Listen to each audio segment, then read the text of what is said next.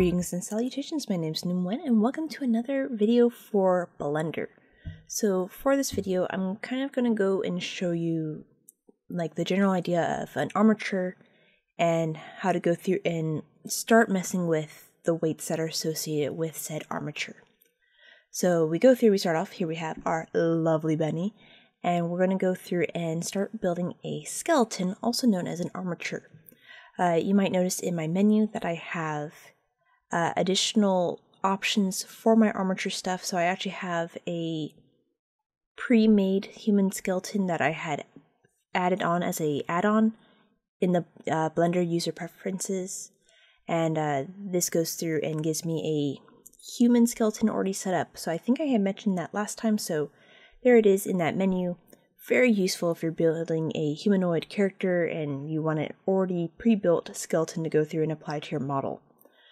So we go through and I will add my own though custom armature to my model as opposed to go through and use that guy. Uh, I will probably try to use that guy in the future just to, so you can see him in action and you know use an actual really nice armature as opposed to one that I'm kind of just throwing together on a nice simple model like Benny here. Something to note that when you are going through and extruding your your bones, uh, depending on what little node that you click on on either end of the bone, uh, when you extrude, uh, one end might just go through and produce another bone piece, uh, and the other will actually go through and grow and continue building off of the existing bone model. You'll see me go through and click on one to go through and produce like a limb for my leg or my arm, and while the other one I'll go through and like click on, I'll actually go through and fully build and form uh, a leg and stuff that's connected.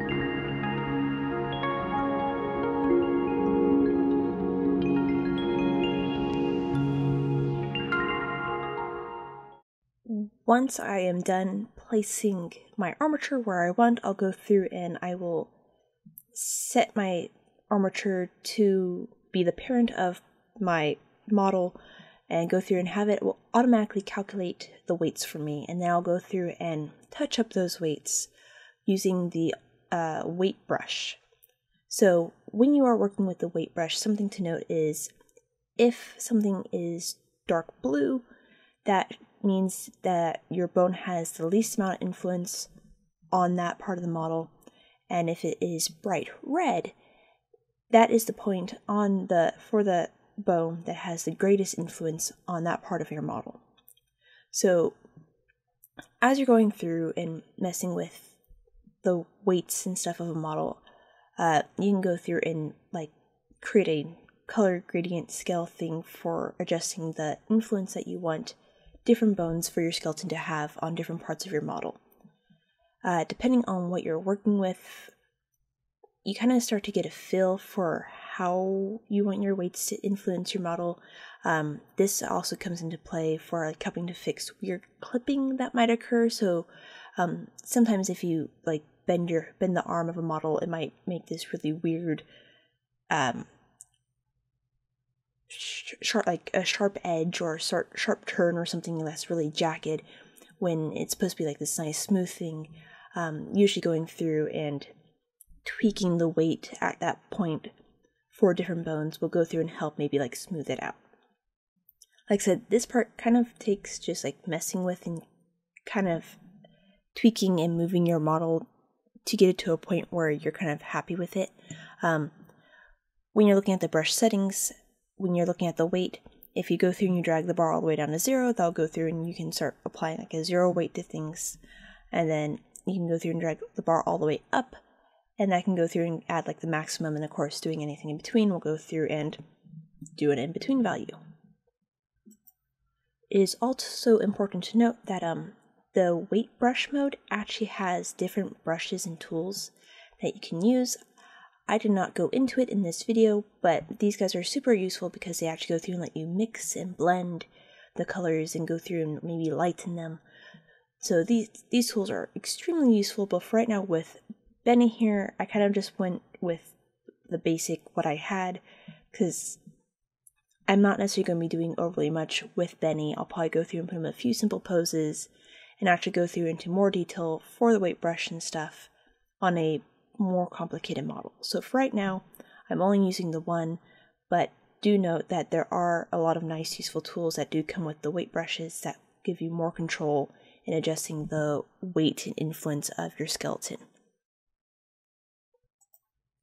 And then uh, once I have the weights how I like it, I go through and I start setting uh, Benny into different poses in pose mode using my armature.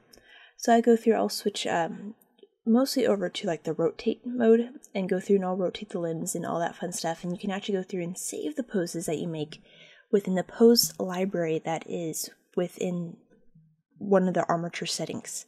Super useful for going through and like saving like a basic pose or even like resetting just parts of your skeleton to a pose that maybe you had. So, super fantastic, super useful. Highly recommend using it. And that concludes uh, this Blender tutorial. Uh, like I said, my main goal is I wanted to show you the idea and concepts of working with armature as well as the weight brush. Um, next time I'll go through for continuing on with Benny, uh, I am going to go through and show you how to go through and add seams in and go through and unwrap your model and go through and apply a texture to it. So if you guys enjoyed this video, go ahead and give it a thumbs up. And if you want to see more videos like this, go ahead and hit the subscribe button down below. And hit the bell icon if you want to get notified for when the next part of Benny goes live. Um, not only uh, this is a new series I've recently just started. Uh, most of my channel so far has been composed of gaming videos. So if you want to see me playing random video games and causing antics there, go ahead and feel free to go through check those out. There will be some links to videos at the end of the video.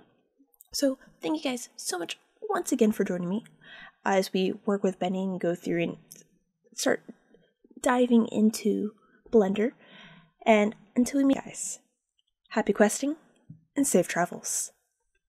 Bye, guys.